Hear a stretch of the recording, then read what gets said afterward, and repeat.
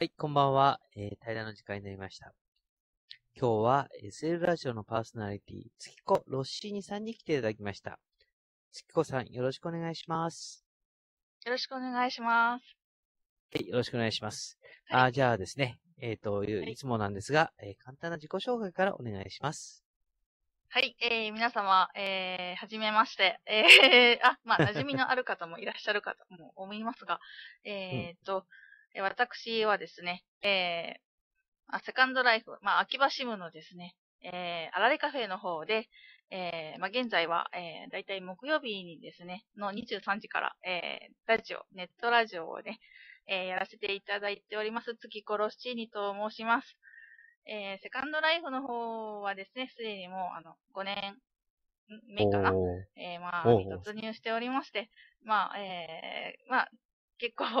まあ、えー、のんびり長いですよね。はい、あの、はい、えー、まあ、やっておりますという感じですかね。はい。はい、よろしくお願いします。はい、よろしくお願いします。まあね、あの、ちこさんも5年近くということなんで、まあ、あの、入った当時のこととか覚えてないかもしれないんですけども、あの、実際にセカンドライフに入ったきっかけっていうのはどんな感じで入られたんですか？あ、きっかけですか、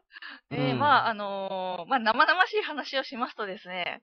えー、まあ、あの、ちょっと、あの、ちょうど、えー、まあ、入ったのが2007年の、まあ、4月1日、まあ、あまあ、日本時間は2日なんですけども、に、まあ、アカウントを、まあ、取得したわけなんですが、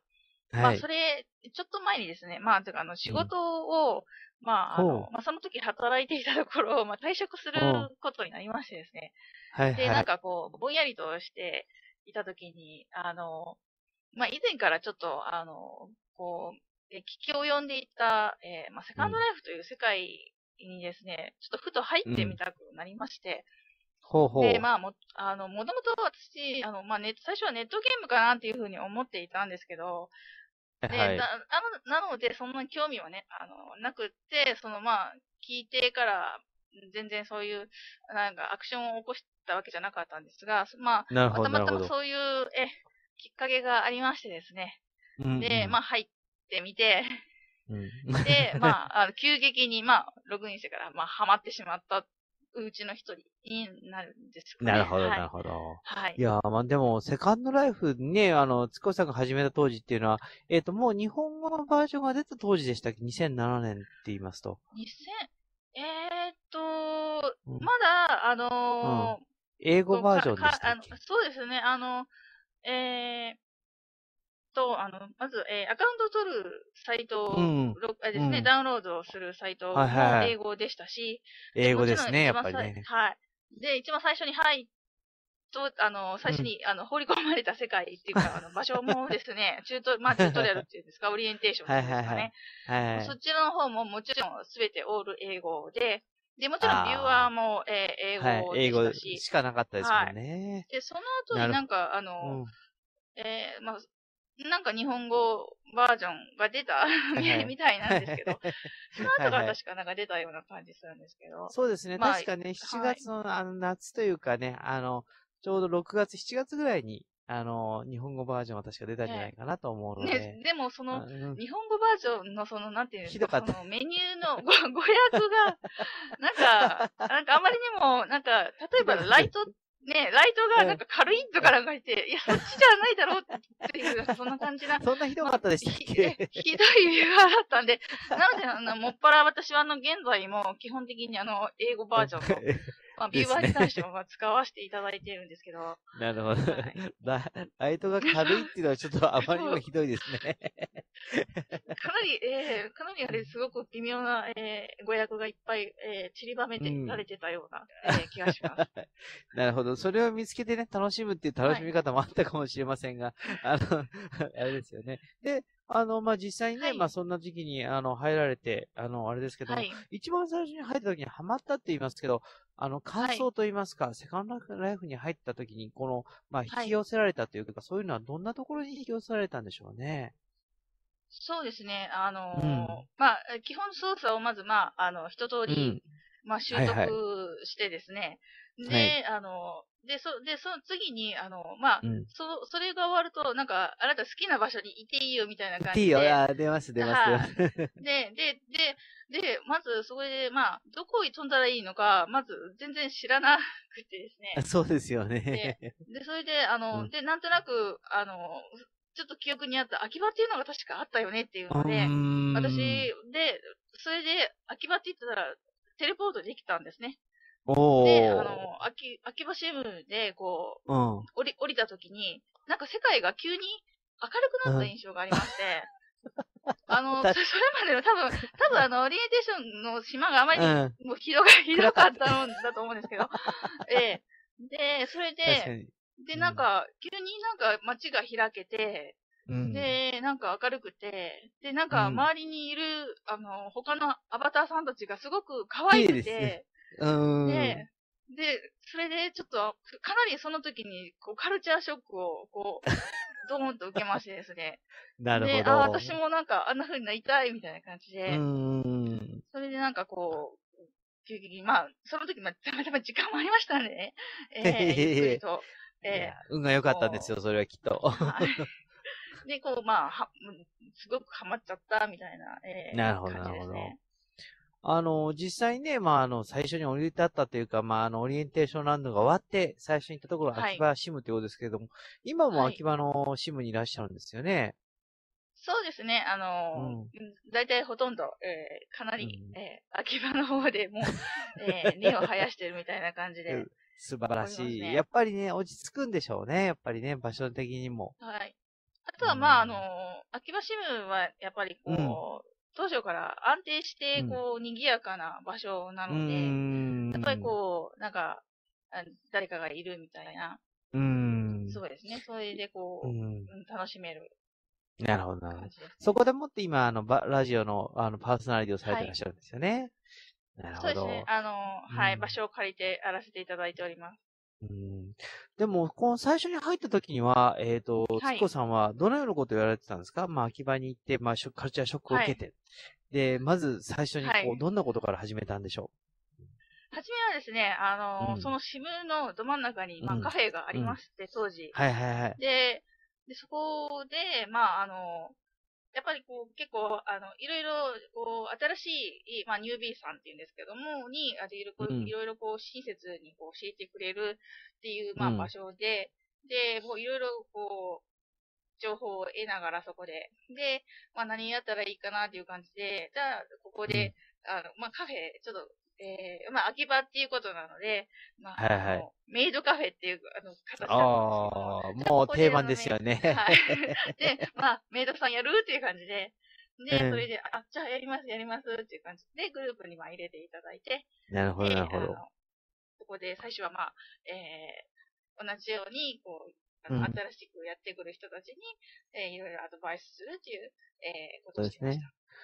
いや、まあ、あの当時からも、今もそうですけども、やっぱりね、あの、ニュービーというか、新しく入ってきた人たちに、はい、まあ、いろんな楽しみをね、こう、はい、こういうふうにやるんだよとかね、あの、教えてくれたりとか、あと、物の作り方とか、はい、なんかいろんなことを教えてくれるんですよ。あの、昔あの、あれですよね、物買って箱が来てなんだかよくわかんないっていう人もいっぱいいましたからね。あ、私も最初、その、なんか、あの、まあ、レズっていうか、取り、はいはい、買って、取り出して、で、箱で、あれ、これ、どうしたら、中のお洋服着れるの？とかいう感じで、そうそうです。よね。知らなかったんですけど、うん、そういうね、あの、こともありました。そうですよね。あの、はい、私もね、入って、あの、2、3週間は自分の顔を見ることすらできなかったですから、結構この世界って 結構難しいっていうか、最初慣れないと普段できることができないですもんね。そうですね。まあ、あのーうん、結構、キー操作はちょっとね、うん、独特だったりするので。そうなんですよね。それね、それに慣れる、ね、慣れてしまえばね、うん、いいですけど。そう。で、だから逆に知ってる人が、ちょこってしたところでも教えてくれるだけでも全然違いますからね。そうですね。やっぱりこう、うん、多分入るときって一人で入ってくると思うんですけども、うん、そこでやはりこの、インワールドで誰かと出会って、こう、そうそうコミュニケーションをとって、いろいろこう教えてもらったりして、うん、まあ、広が、広がっていくっていうか、えー、ありますね。いく世界だなと。やっぱりこう人に出会わないと面白くないですからね。っていうか寂しくなっちゃいますからね、この世界は、ね。そうですよね。まあ、誰かがいるから多分入っていくのかなっていう感じありますし。いや多分秋葉がね、はい、いつも、あの、賑わってるのは、やっぱり誰かがいるって安心感もすごく大きいと思いますよね。そうですね。あの、まあ、それで、まあ、まあ、大体夜なんですけども、行けば、あの、まあ私がお世話になってるアライカフェだったら、店長のアレさんがいたりとか、うん、いつも常連さんたちがいたりして、うん、まあ、いろいろこう、賑やかに、えー、ね、トークしているっていうところがありますので、あられ店長も長いですからね。ねすごいですね。も う、もう、ね、もうみみんなが恐れるあられさんでございますそうそう、恐れるって言っちゃっていいんです、そんな。誰にもかなわないですよ。ああ、まあ確かに確かに。ですよね。まあでも本当にね、まあそんなところでもってね、ずっとやってこられてるんですけども、えっ、ー、と実際このセカンドライフでもっていろんなことをね、まあ体験していろんなことやってきたと思うんですけど、その中でもって一番なんですかね、はい、心に残ってることというか、これ良かったなとか、やってて良かったなっていうことがあったら、お聞かせ願えますか？はい。やっぱり、あの、中でいろんな人と、えー、まあ、国内外問わずですね、いろんな人と出会って、うん、まあ、うん、えー、コミュニケーションを取れるっていうのが、やっぱり一番楽しい意味で、で、うんうん、でその人たちといろいろ、あのえー、イベントとかに参加したりとか、うん、えー、ですね、何、何かこう、まあ、うん、旗から見ると、なんか、とても単純で、馬鹿らしいかもしれないんだけども、でもやってる方はすごく、なんか、めちゃくちゃこう、なんか盛り上がってて、なんか、えー、まあ、あの、わけあいあいというかですかね。えー、あのー、わ、わかります。すごくわかります。あの、えー、結構ね、わ、私一時期にハマったのは缶蹴りでしたから、はい、こうみんなで集まって、なんもない草っぱで、いや、ほんと楽しかったですね。ねはい。なんか、うん、ね、なんか、なんでもない、こう、なんか、えー、牛のなんか、なんか、乗り物に乗って、こう、なんか、あった。えー、ただ踊るのありましたね。えー、踊ってみたりとか、あのね、本当になんか、まあ、現実はね、できないですけどね。えー、まあ、そういうとこでなんとなくこうやって、はい。あの、そういえば、あの、何ですか、あの、渦救命眼の箱じゃなかった、せいろ眼の箱とか覚えてますかね？一時期誰かが配ってたんですけど。なんかそんなのみんなで来たりとか、なんか結局みんなでなんか一緒にやるっていうのが楽しいんですよね。そうですね。うん、で、そうあとはもう、もうみんなで、あの、まあ、後ろ、うん、まあ、私の今、後ろで、あの、スナップショットを貼っていただいてるはいはい、まあ、たくさんあります。はい。で、この、あの、下の真ん中とかだと、例えば、うん、沖縄のシムにですね、みんなで、ほうほうえー、こう、行って、これ、えー、記念写真と撮るのに、こう、わらわらしてて、これ結構時間かかったんですけど、えー、ですよね。結構、結構かかったんですよ、みんな集まって。えー、なんか、なんか撮ろうとすると誰かが落ちたりとか、えそうだね。いろいろこう、あと、人数がね、多くなると重たくなりますしね、シムとかね。そうですね。最近はね、うん、あの、シム落ちってそんなにあまり聞かないんですけども、うん、まあ、当時っていうか、まあ、初めの頃っていうのは、本当に、もう、よく落ちました。人とか、はい、えー、乗ってたら、あの、すぐ、あの、ね、あの、落とされてしまって、まず、ログインしなきゃ、みたいな。そう、そうですよね。だったんで。まあ、あれも今となってはですね、はい、もう、懐かしい、知る人もそう少ないのかなと思ってしまうんですけど。いや、でもね、やっぱりそういう、なんだろう、みんなで何かやる楽しさっていうのを再発見できるっていうのは、このセカンドライフの良さかもしれませんね。そうですね。あの、はい。まあ、でもこんなね、はい、セカンドライフ、さっきもちょっとね、人が大きくなると、あのー、ね、重たくなったりね、下地とかっていう不便なところもありながらも、やっぱりいろんな発見もあると思いますけども、はい、これからセカンドライフ、えー、どんなことをしていきたいなとか、どんな風になってほしいなっていうのがあれば、一つ皆さんにもお話願いますか？そうですね。まあ、私的には、まあ、あの、まあ、この、えー、今やってる、あのね、うん、インターネットラジオですね。これを、うん、まあ、まあ、あのー、そんなに広げるでもなく あの、こう地味にですね、まあ、はい、あの、続けていって、まあ、聞いていただける人に楽しんでいただけたらなと思ってるんですけども、あと、まあ、あの、セカンドライフ、うん、全体としてはですね、うん、えー、あの、まあ、世界としては、ちょっと、多分、あの、うん、現実的に早い。うん、確かに。うん。という、ていうか、時代のは、先取りしすぎてますからね。ねはい。だったのが、でもまあ、うん、多分結構ここ数年やはりこの、まあ、ソーシャル的なのが追いついてきてるっていうか、うん、まあ、広がってきて、こう、一般の人にもこう認知されてきてるんで、多分こういう、あの、まあ、SL 的な、えー、世界も、あの、まあ、認め、認められるというのも変なんですけども、広がるって、まあ、行くんじゃないかな。まあ、っていうか一つの、あの、コミュニケーションのあり方としてありっていう、えー、選択になるんじゃないかなと、えー、思っています。